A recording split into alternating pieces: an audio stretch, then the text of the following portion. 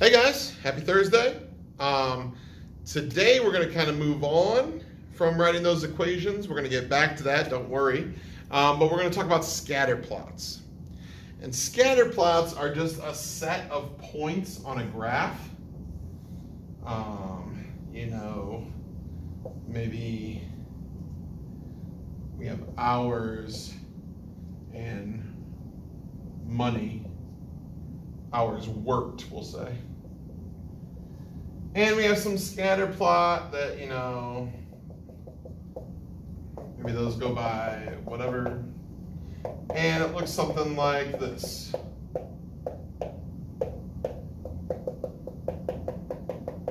You see how we just kind of have a series of points, oftentimes with a table. Um, I don't even know, can you guys see that? Oh yeah, you can see that move it up a little bit. There we go. So um, our scatter plots are going to tell us a lot of information. Anytime that we have uh, a lot of data that we're compiling, maybe for like research or something, and we're trying to find out, is there some sort of connection to these two things? Oftentimes we're going to look at a scatter plot, and that's going to help us to tell that. And when we have scatter plots, there's three different things that can happen. We can have a positive relationship. Positive relationship, or you might hear the word positive correlation. I might say that. Uh, or positive relationship. Uh, a positive correlation means as one variable increases, the other also increases.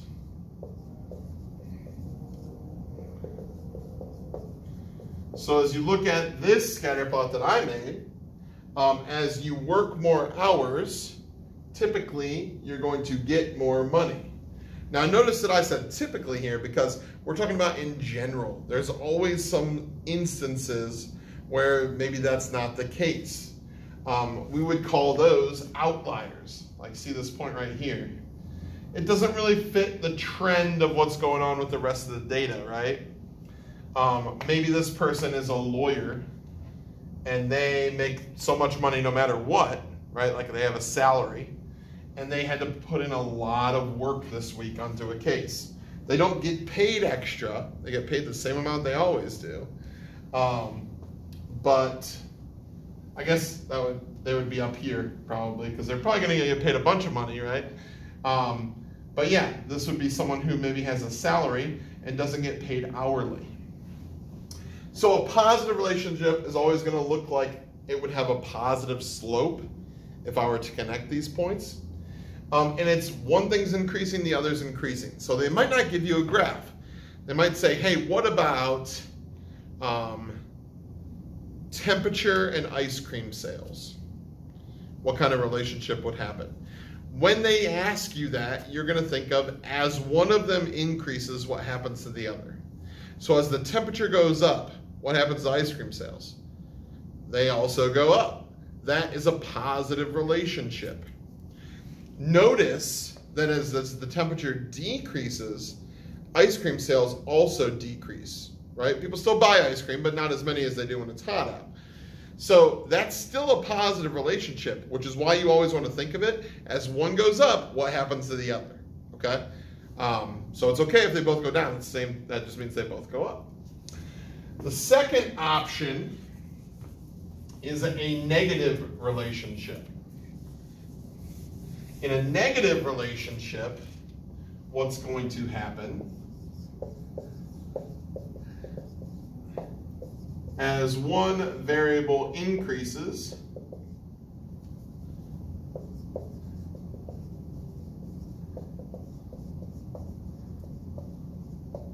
the other variable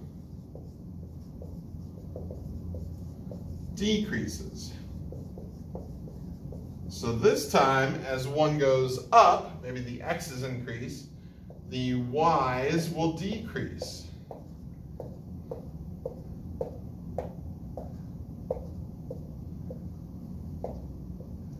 like that. would be a negative relationship. And again, we can see that if I connected these with a line, that line would have a negative slope. So therefore, we know it's going to have a negative relationship because the line is decreasing as it goes from left to right. Now, if you want to think about what thing uh, as one increases, the other one decreases, that would be something like um, maybe cardiovascular exercise and weight. As you increase your cardio, in general, your weight will decrease. That's what happens, right? Um, obviously, there's people who are in such good fit. Uh, my buddy Stephen Falte is out there who runs every single day. He's not losing weight. He's at because that's his typical routine. Um, but if I ran as much as Stephen did every day, I would be shredding pounds. Okay. Um, and just because it's negative doesn't mean it's a bad thing. Sometimes people think negative relationship, it's probably not something good. That doesn't have to be the case. Um, obviously, weight loss is maybe a good thing, right? If you want to lose weight. Um, but it could be as um, your hours increase that you work, your debt decreases. So you owe less money to maybe your student loans and your credit card bills and your mortgage and things like that, right? So that's good. And anyone would say that's good. We want to get rid of our debt. Um, yeah, so anything that as one of them goes up, the other one goes down, that's going to be a negative relationship. All right, the last one that can happen when we're looking at a scatter plot is no relationship.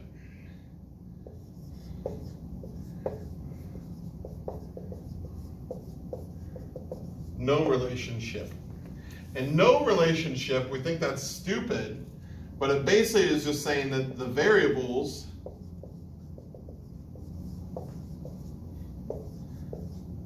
do not affect, affect, affect each other. And you're thinking, yeah, who cares, you know? Um, the scatter plot would look something like points all over the place.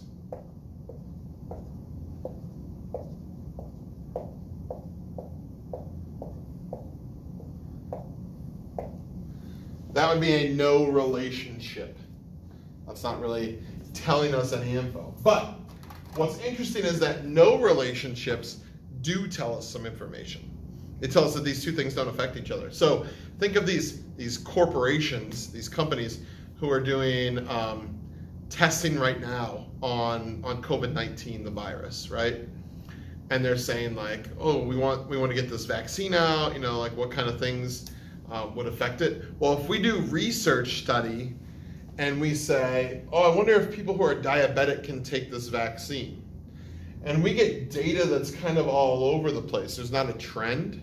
That's telling me a lot of information. That's saying, hey, there is no effect of uh, just because this person has diabetes that they can or cannot take this vaccine, right? There's no no relationship between those two variables, and so um, this is a really big deal. People spend a lot of money on research in our country yearly on things like cancer and do cell phones cause brain tumors and things like that only to get information that just says this is not conclusive. That's sometimes a really good thing right? Well i can't tell if if people are getting brain cancer because they use their cell phone a lot or if it's for something else. So uh, we can't be conclusive and say yes your cell phone is causing brain cancer um, so no relationship does tell us some info.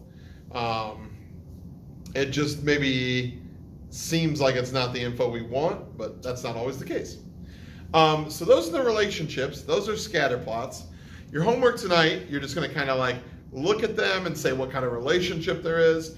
We're going to be dealing with scatter plots and, and data collection here for the next couple days. And then this is pretty much what your project's going to be on. You're going to come up with I'm going to give you some data. You're going to have to plot it in a scatter plot, make a scatter plot, and eventually find what we're going to call the line of best fit. Um, but we'll talk about that later. All right, we'll see you guys later.